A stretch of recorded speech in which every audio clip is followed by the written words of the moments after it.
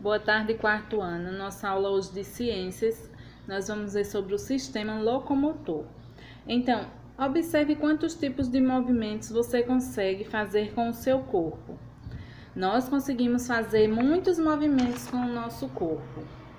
Então, esses movimentos é, usamos o sistema locomotor, que o sistema locomotor é responsável pelo, pela movimentação do nosso corpo.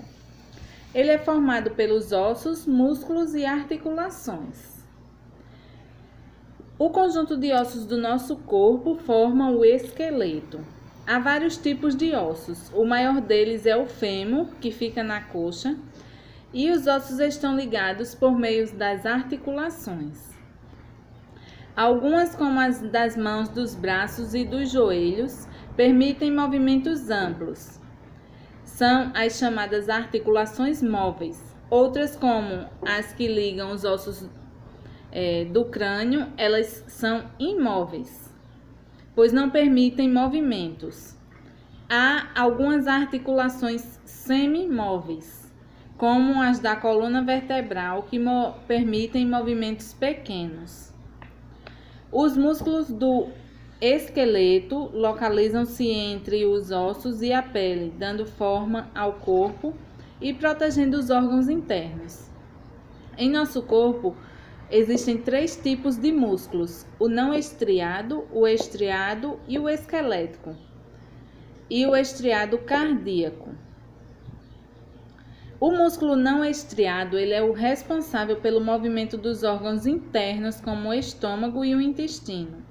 É um músculo involuntário, ou seja, não depende da nossa vontade para se contrair. O músculo estriado esquelético, ele permite mover as partes do nosso esqueleto de acordo com a nossa vontade. Por isso é chamado de voluntário. E o músculo estriado cardíaco, ele é responsável pelos batimentos do coração e também é um músculo involuntário. Vocês vão responder a atividade na página 515. A questão número 1 você responde no próprio livro e a 2 responde no caderno. A 2 pergunta: o que aconteceria com o seu corpo se você não tivesse ossos? Então, essa questão número 2 você coloca a resposta no caderno. E o 1, um, observe os movimentos de um colega, do seu pai, da sua mãe, do seu primo, depois de três exemplos, de três exemplos de movimentos que você notou e escreva quais foram os músculos que ele utilizou.